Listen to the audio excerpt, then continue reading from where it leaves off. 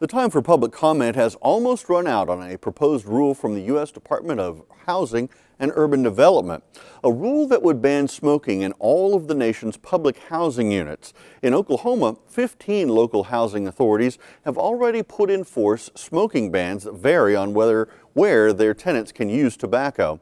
But now the state's largest public housing authority is just weeks away from putting its own tobacco plan in place.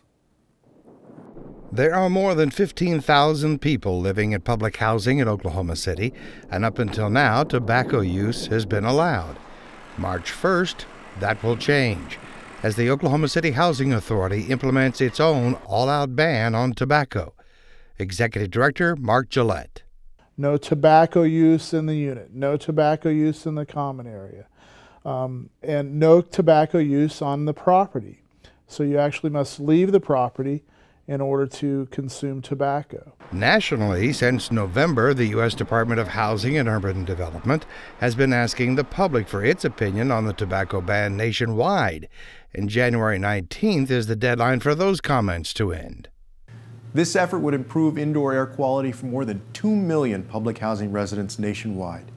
That includes 760,000 children, as well as nearly 330,000 senior citizens. HUD Secretary Julian Castro also expects a big savings to taxpayers from the smoking ban. And save nearly $153 million each year because of lower costs for health care and avoided costs to repair buildings damaged by smoking related fires. But safety and health aside, Mark Gillette has gotten an earful from some tenants about the idea of banning tobacco.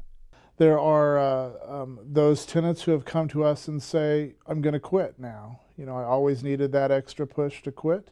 I'm going to quit.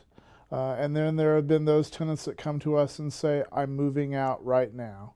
We talked with several public housing tenants at different locations, and while they would not talk on camera, they did express similar views as those heard by Gillette. For Joy Hamilton, who has lived in the Danforth Senior Center for 13 years, she'll be happy for the smell of tobacco to come to an end.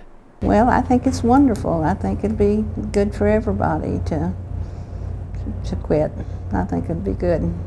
Joy says for people who decide to leave, they may discover that many private rental properties now no longer allow smoking either. Uh, yeah, it's basically that way everywhere.